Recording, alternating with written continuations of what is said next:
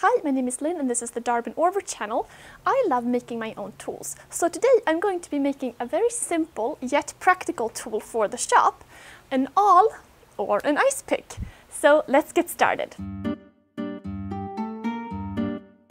To make an awl, you need something sharp like a nail, I prefer stainless steel, some type of handle, and you can either make a handle on the lathe, you can shape it with a chisel or a spoke shave, or you can simply sand a handle to shape. Ferrule is nice but not necessary and you can use some copper tubing for that. And you need some epoxy to attach the nail and the ferrule to the handle. To make my handle I decided to use the lathe and I'm using a walnut blank here. Mainly I'm focusing on two parts here, the ferrule part which in order to fit the copper piping needs to be half an inch in diameter and then the knob part which you hold in your hand and which I want to be nice and round and smooth. Of course this is where you can get very creative with your design and either make a long, more slender handle or a chubby one like this one. A little sanding and the handle is done. Next I'm finding the center here and using another awl to make a mark. Thereafter drilling a hole the size of the nail I'm using.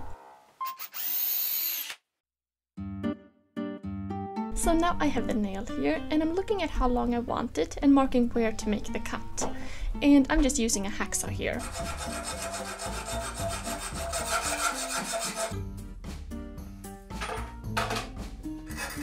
To sharpen the nail up a bit, I'm using a rasp.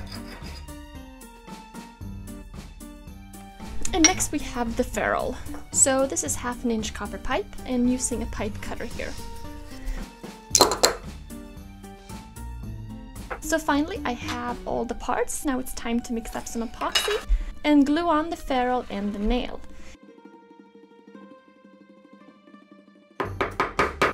And then I'm adding a little more epoxy to fill in that extra part to make everything nice and smooth. So I'm very happy about the way this one came out. Really kind of like the shape and I made the copper ferrule a, little higher and then I filled in this part with epoxy. Uh, but you could of course just make it a shorter and then sand it smooth. Otherwise thank you guys so much for watching. I'm Linn and this is the Darbin Orvar channel. Don't forget to check out my shop and my website. All the links are in the description below and if this is your first time here don't forget to subscribe for more content. Thanks so much for watching and I'll see you soon. Bye!